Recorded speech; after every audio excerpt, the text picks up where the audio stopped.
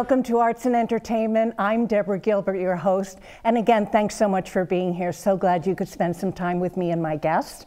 Well, we're going to highlight somebody that's been here before. It's Eric Dillner, the CEO of the Shoreline Arts Alliance based in Madison, Connecticut. And Eric, thanks so much for being here today. So nice to have you again. Well, thank you so much. It's always a pleasure, Deborah. You know what? You were here in December of 2020, and I wanted to bring you back. We'll talk about the Shoreline Arts Alliance in just a second, but let's refresh the memory of the viewer. Tell us about yourself. Let's go back into your background. Oh, uh, well, um, again, I'm, I'm uh, currently the, the, CEO of the Shoreline Arts Alliance, uh, but I, I, started my whole, I'll call it artistic career uh, as, a, as an opera singer, believe it or not. Uh, prior to that, I was a hockey player, so I, I kind of, um, you know, enjoy the excitement of, of, of, the stage, whether it's on the ice or on the uh, uh, on the, the big stage. So I had a big, big, wonderful, quick um, uh, career. Uh, got a chance to sing at the New York City Opera and many places around the country and around the world, and just um, found that what I loved is the process of, of how uh, we create productions. And so um, that creation process kind of led me to what what's next for me in terms of um, how can I, I help uh, the, the community grow. So I ran an opera company for a while. Uh, and then a Broadway company, and then uh, worked at a, a five-seater complex down in a five-theater complex down in uh, in Florida, and and learned that there's just so many ways that artists are trying to express themselves that I kind of was looking for a way to um, to not just be in the performing arts world, but in in the uh, the world of of all art forms. And I landed the perfect opportunity here in Connecticut, uh, where my wife is from. So it was good to to come here and and have the opportunity to be around family and celebrate all art forms through Shoreline Arts Alliance. Uh, Shoreline Arts Alliance is like a um, let's see, we're in our uh, 40 some odd year uh, of, of helping the arts on the shoreline, but we've grown into a much larger, um, geographic, uh, uh, impactful organization. Through COVID, we actually had the opportunity to grow um, outside of Connecticut as well. Um, so, Deborah, I don't know, what do you think? Should I share, share a little bit about the Reopen Connecticut Arts Venues series that we've been, been working on? Yes, please go ahead. So, our, our series is um, we, we saw that this darn pandemic was was right on top of us, and so um, my wife, who is a voice teacher in Manhattan, came home and said, "I don't think I'll be going to Manhattan for for a while," and we started to worry about what are all these arts organizations going to do? How are they going to either stay open or many of them were already closing? So I reached out to Yale School of Public Health, uh, the dean, Sten Vermund, and I asked him how we could right now be proactive in thinking about how to reopen Connecticut arts venues. And so he and I came up with a plan to create a webinar series. Um, actually, we have 17 of them. Well, actually, 16 we've done, and we're about to do another one Friday, uh, which I can give you that date Friday, Friday, February 20, uh, February 25th, and it's at nine o'clock. You hop on Shoreline Arts Alliance's website, www.shorelinearts.org, um, to to see this. Anyway, these webinars are help the arts um, find their way through what's next. And would you believe that here we are a couple years later, we're still trying to figure out what's next. So each webinar is basically based on a survey now that we send out to the community who's following us and ask them what they need. Um, and last week, uh, I just couldn't believe once again the outpouring of needs from the arts of what we should do related to moving forward. How do we return? How do we return again? Some of them opened and then they had to unfortunately close again. Uh, Broadway, how they uh, they open and then they have a crisis and then they re, you know come back. How do they come back more strongly? This has developed into about 15,000 followers across the country and, and I should even say around the world, but but mostly around our country. Um, follow our website, website I, I mean our webinars, and um, and gather that information. We've transferred that now into a on-site process. So we went to like Goodspeed Opera and helped them open. Uh, we went to the Florence Griswold Museum. We've been up at the Warner uh, Warner Theater. We've, we've been all over the state of Connecticut to help people um, reopen. And then we actually uh, found a wonderful um, donor to provide uh, a half million masks to the arts. So we became a distribution center for masks. Uh, and we hauled them all over the place, kept renting U-Hauls and taking them here and there. And, and places like the Guard had, got a bunch in the Shubert Theater and Bushnell. Um, and when I say a bunch, 50, 60,000 masks, you know, would go to uh, one of these theaters or five boxes would go to a smaller institution. Uh, so anyway, our, our site visits are going into help people with PPE. And then, um, and now we're in the consulting basis uh, process where when an arts institution has a specific need that they need a little bit more clarity on, we can do a Zoom type situation or we'll go on site and help them with their, um, with their specifics. Um, we've been so, uh, so fortunate to have many donors step up to help us uh, along in this process. Um, but here we are today trying to figure out what do we do with consumer confidence? That's, that's the biggie. Now, you started out with hockey and your desire of that, and then you went into opera and theater and desire of that, and now you're at the Shoreline Arts Alliance. What was it that was the transformation process for you? Are you happy? Are you doing what you want to do? I, I love what I do. I think actually I'm a teacher at heart. Um, I think the being on the ice as as a player, um, I learned what you need, um, but then I became more about how do I share that information of what I need or what people need to perform that. And the same thing happened there with um, with uh, going into an opera company, helping different artists work together to create a production you know, you have your artistic director, you have your lighting designer, you have your costume designer, you have all these people who work ahead of time to create a show, and they need a, a mediator, uh, a guider, somebody to help them make sure that they make decisions and keep the process moving along. Uh, and so, um, and, and somehow I feel that is kind of a teaching thing. I, am not, I'm not managerial, just sounds too stuffy for me.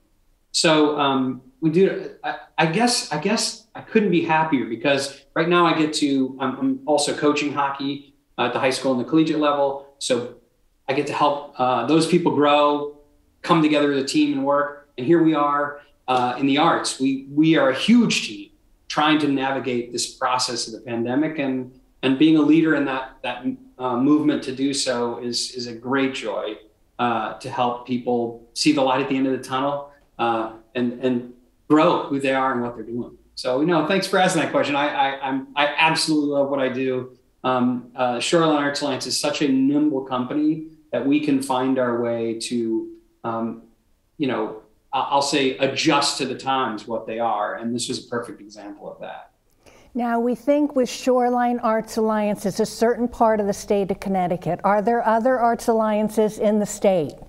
There are. Some days we think we should change our name uh, because we are so broad. Yes. Um, depending, let's see, I think right now we're at seven uh, different arts councils around the state um, that serve a particular region. Our region is basically just outside of New Haven and East Haven, all the way up to Lyme and all of Middlesex County. That's the area that the state of Connecticut has suggested that we should um, we should uh, basically do most of our advocacy work with, help folks with funding ideas, help funds with business, help ide- ideas with building their businesses and those kinds of things. But we've been fortunate. We aren't really. Um, we, we, started actually with some statewide programs, so we have uh, our have our tentacles out, out through all all the state. COVID still around. How has it penetrated what you do as an agency, let alone the arts community in general? Yeah, COVID has changed so many things. Uh, it's made us better in many ways. Uh, we've we've learned that we can do more. Um, we've learned that we can um, be at home and accomplish a lot of those menial tasks and get those done fast, and then so that then we're ready to get out there and really um, share our artistic uh, abilities. However, I think the biggest challenge is right now we're feeling that consumers are not necessarily ready to get out of their homes and to the artistic events, the venues, etc. We're ready. The arts are ready for that. So um, the challenge is really how do these institutions continue to move forward? Uh, like ours, we, we have not had a gala, for instance, in two years, and that's our big gathering of people to get people together to celebrate the work that Shoreline Arts Alliance does. So um, we've actually, uh, I've got two, two, I, two things that we're doing that I'll share with you, but, but along that same line, we've, we've even come to the decision that um, perhaps a gala is not the route right now to be indoors. We do a Mardi Gras gala often with masks and all that stuff, indoors, tight, lots of people, do a Mardi Gras parade through the, the, the um, a hotel. I mean, all that sounds fun, but uh, we still have people who are not ready to do that. So we're looking for more of an I'll say audience appreciation launch rebirth of the arts type type of a, a an event. Uh, we plan to do one in May uh, where we celebrate the rebirth, the reopening, the renaissance of, of arts coming back. But right now, what we're doing it, uh, um, is we are we've partnered with 30 arts institutions um, to create a I'll say a marketing blitz with a prize at the end of the road, uh, if you will. Um, and so we've created all 30 of these organizations, 30 plus organizations, are um, help. We're all uh, packaged up a lot of arts project, uh, uh arts events together, and are are offering it in the form of a raffle. Now, the ra- these funds, which that's probably the secondary process, is is the funds uh, we'll go back right back into more of our helping consultations and making that something that we're not we don't have to charge uh, an arm and a leg for. Instead, we can we can help continue to give that. Um, but we created three packages. I'm going to tell you about them because they're really fun. We created a bulldog package. You can imagine what that is for. It's for like uh, it's great for students, college students, contemporary music lovers, that kind of thing. It's 16 t- tickets to eight concerts total with a year's worth of free admission to Toad's Place with a guest. So I mean, this is a great fun 20 bucks for the for the ticket, and you have the opportunity to win uh, a lot of great, um, basically music type events. And then we have a Renaissance package, which is for um, really great great for uh, arts lovers of all kinds, visual, performing, uh, all, all the arts. Um, particularly focused on like theater and ballet as well. So um, you get a bunch of wonderful, wonderful things like that. And then our last package is called For Art's Sake. Um, and it's basically five, fa- uh, I mean, uh, family memberships. I think there are nine in total for museums. Uh, so it's like the perfect uh, arts lovers gift bag uh, for families. So all of those three together make 30 institutions around the state, small and large. Don't you know? We have the Buttonwood tree up in Middletown and we have um, the Aldrich Museum up in Ridgefield, and then we have uh, you know like um, the Goodspeed Opera type types. So they're they're all all different size organizations. But the idea is that we want to get people excited about returning to the arts physically because we've done so many things online and so many for the last couple of years. So okay, let, it's let, as oh. much as a as an effort to uh, get people to think about going to the arts as get them in, in the arts. Okay, let's hold that thought. I'm Deborah Gilbert. You're tuned into Arts and Entertainment. We're going to take a break. We'll be right back. Hey, Bobo, do trees tell each other stories? I'm sorry. I'm afraid I don't know that. Hey, why don't we go find out? Listen. Do clouds take naps? I couldn't tell you.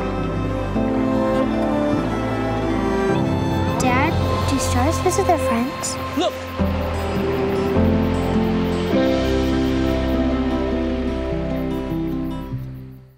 Community TV, your neighborhood TV. Publicly funded and a reliable partner for cable companies nationwide, it provides transparent coverage of local and state government, education, and public programming. A digital town green that can be watched anywhere, anytime, and on any device. Watch us on today's high tech distribution methods. Community TV in Connecticut. Local, unfiltered, reliable, and, and yours. yours. And welcome back to Arts and Entertainment. I'm Deborah Gilbert, your host. And again, thanks so much for being here. Well, I continue to uh, have my conversation with Eric Dillner, the CEO of the Shoreline Arts Alliance. And Eric, why don't we talk about the website? What will the viewer find when they go there? When they go to our website, you're going to get a lot of great information. Um, we have a, a, community calendar, which is spectacular. It um, it's a place for uh, artists and arts organizations to share what they're doing, who they're looking to partner with, and of course, um, to invite uh, guests into their community. Um, we have an e-blast that goes out once a week, actually, to hi- highlight everything that's on that on that uh, calendar for the next seven, seven days. So we encourage you actually to come to our website and sign up for that that newsletter uh, because it, you'll get it. Um, it's on Wednesdays. It comes out and it looks at the the, the following week. Uh, also on our website is really uh, there are a lot of student programs that we have um, that are. Uh, I like to say my job is to find the patron who wants to support an artist and then have them help us with funds and with with uh, with their time and talent to to be able to then have us give great arts awards to high school students um, and mentorships as well. So there's a lot of information there for your high school student who um, is looking for uh, a place to show their work, to get a, a, a, a scholarship for theater, music, dance, visual arts, creative writing, um, visual uh, the, the, works. Um, it's all there, uh, and that's going on right now. And we're also um, in the next month about to celebrate all the visual arts in our 26 towns. Um, all kids, freshmen to freshman to senior, uh, in in any of the high schools or from this area and happen to go to another high school, uh, you know, prep school or some somewhere else outside of the area. As long as they're in our community, um, we then have judges judge all the work, and then we hang a show, a visual art show for them out at Lyme Academy. Uh, so there's an awful lot of uh, great um, opportunities there. Also, the things that I talked to you about, those webinars, um, they're all there. You could link and go back and look at some of them if you'd like. Um, and, and of course, uh, our raffle is there. So www.shorelinearts.org is the place to go. You can also text 203 601 7545. I had to look that up 601 7545, and that'll take you directly uh, directly there to the site as well. Uh, so um, yeah, it's it's a it's a lively site. There's an awful lot to do there, um, but uh, most importantly, it's a place where you can kind of dip your toe into what's going on all over uh, the community, uh, and you might be able to find something that you'd like to do this weekend or an organization you'd like to support. Uh, or, and again, you can do it in many different ways. One of the things that my viewers might be interested to know and tell me what your thoughts are, is that the individual performer or an organization is looking for funding. Would you be able to do something like that, or do you gear them to go look elsewhere? Well, we that's a wonderful question. Um, it's a big challenge right now for all of them. Um, yes, we we mostly connect are a connector for all of that. Is um, oh you're you're interested in um, you know, growing your business skills for your artistic project. So we might be able to actually link them to ideas for their funding uh, pro- stream, so that then we could link them to a place where they could could build those skills. Or uh, yeah, yeah, many many different ways. But um, typically, what we're doing, unless it's for uh, I'll say high school kids, is we are um, we're sharing, being that conduit to find a way to to help them grow. Um, the other way that they can do that also is by being a, uh, if it's an, an artist, is getting on our artist list on our, our website. Uh, because then when people are looking for an artist to commission a work, an artist to sing at their wedding, an artist to sing with their orchestra, a new trombone player for their orchestra, they come to our, our website and they look to see who's there to find out who who and what they do, or or a teacher in all those avenues. So um, there's a real good good link there. There's also a, a, part of our website that's for call to artists. So, for instance, there's a there's a group that's putting on a um, a, a, battle of the bands type of event, and we're about to put that on our website that share, shares how you could be involved with your, your band. Now, you've mentioned what's happening at this time of year and what's going to be happening in May. How does the fall look of 2022 into 2023? Do you have things coming up? We do, we do, absolutely. And actually, Friday at our webinar, we're going to talk about for institutions, for artists, you know, what kind of planning should we would should we be doing?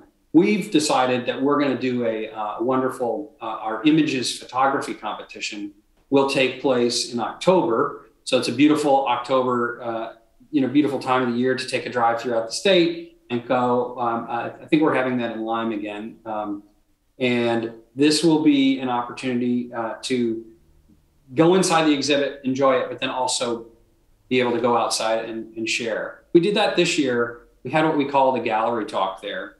Um, and we did it multiple times throughout the day. So we kept the numbers small, and yet then people stayed outside and had coffee and cookies um, together in the lawn, so to speak, uh, and enjoy themselves between the, the, the talks. Um, and I think that's a new, uh, I, am calling it new, it's something we've never done before. And we're finding it's a great way for people to be able to communicate and be with each other and, and, um, and feel confident.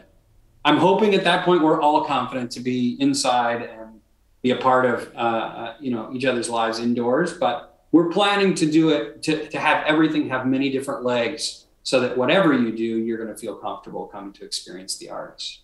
Now, you're mentioning the webinars, which will be done uh, technologically speaking. Do you think that technology and Zoom and other visual effects will be here to stay as the pandemic starts to shift as compared to being outdoors? What are your thoughts? I, I think we can get a lot of education and a lot of um, enjoyment of learning about other people. And I think we can get a lot of our meetings done quick, more quickly. I, am I'm one to schedule a meeting that I think is going to take an hour and for a 45 minute meeting because I've learned that what we we used to do when we met in person is we'd fill that hour with other stuff. And now we can actually get the business done more quickly and then have time for the uh, around the coffee pot uh, enjoying each other.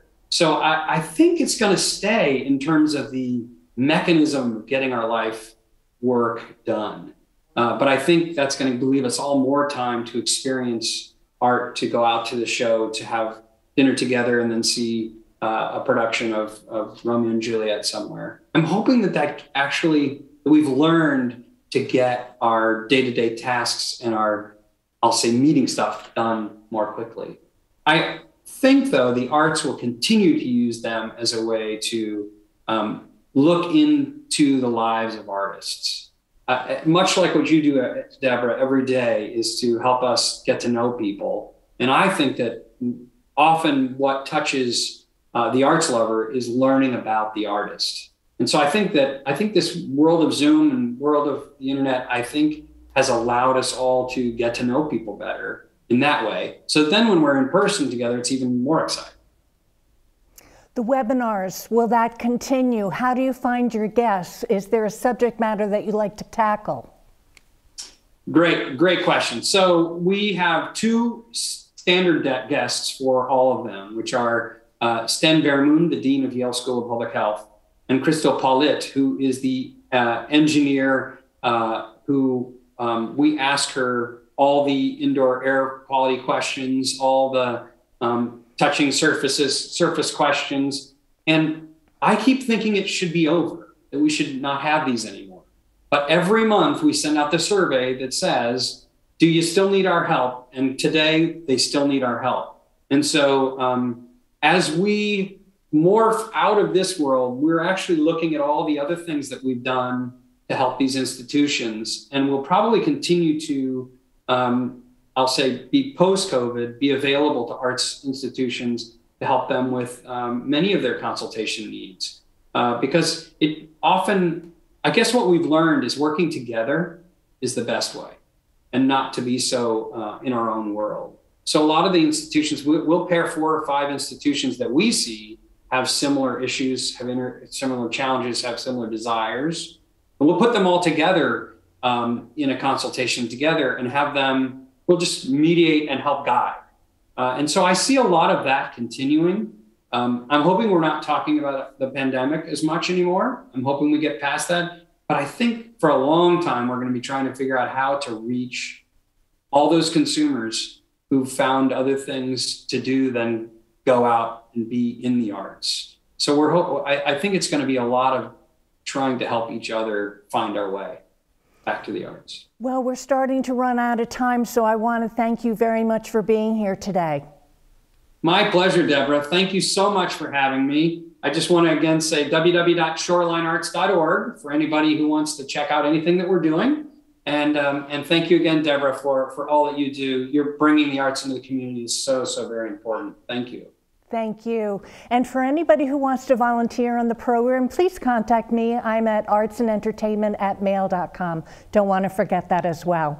Well, you've been tuned in to Arts and Entertainment. I'm Deborah Gilbert. Thanks so much for being here today. Hope you enjoyed the show. Have a super day. I'll see you next time.